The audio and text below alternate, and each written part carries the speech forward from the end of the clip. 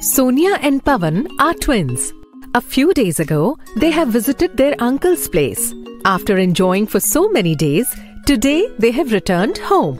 Their cousin, Puneet, elder son of their uncle, accompanied them back home. Puneet is elder to them and studies in college. After returning from their uncle's place, where they had endless fun, suddenly they remembered their monthly test is going to be held tomorrow at school.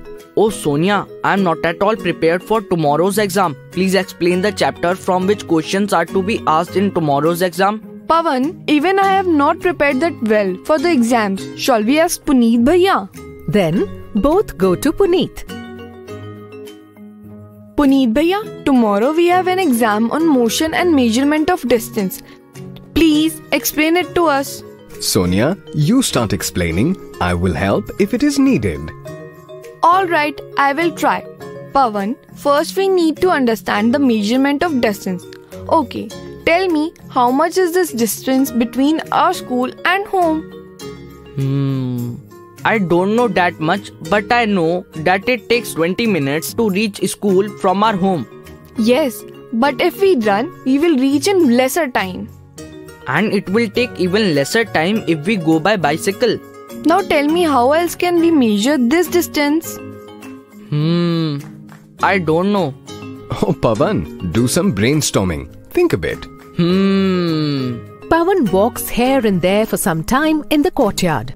Okay, it took 10 steps to walk from this corner, so that corner that I took around 2 steps per second. So according to this calculation, it must take me around 23 to 2400 steps to reach school from home.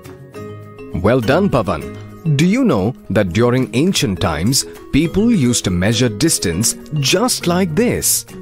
Initially, at different places, people started using their distinct body parts to measure distances.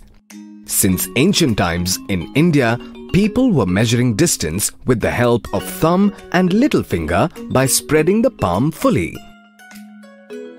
People in Egypt used to use the distance between their elbows and fingertips to measure distance.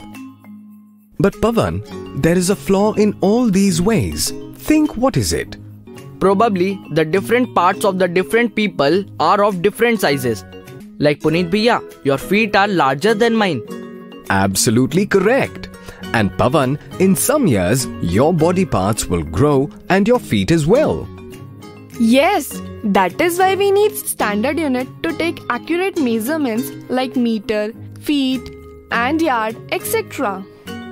These units area extremely needed in our lives Look, like the plots of our home and farmlands all are measured. We need such units which are same throughout the world to measure things like house walls, bed, the whole house and street precisely.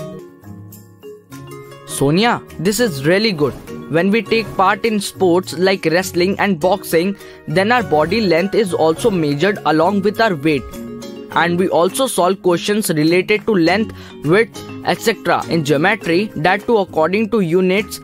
But brother, I can't understand one thing. Who have invented these standard units of measurement and how? I know this only that the metric system was first used in France and now it's considered as a standard international unit system. Okay, you both go and bring two sticks of the same length. Both the kids do as they are asked. Just like this, a scholar has named a stick as meter and asked everyone to measure sticks equal to the first one and use them as a unit of measurement. For measuring long distances, distance equal to 1000 sticks was said to be 1 kilometer. In English, Kilo means a thousand meters. And what if we need to measure smaller distances? For that, if you mark 10 equal sized marks on the meter stick and then divide the 10th part again in 10 parts, now each section is equal to a centimeter, which is used to measure smaller distances. Now tell me that if we need to measure the perimeter of a bicycle tire, how will you do it? For that, I will take a spinning tops thread and mark it with the help of meter stick. Well done, Pavan. I'm sure that you will perform well in your tomorrow's exam.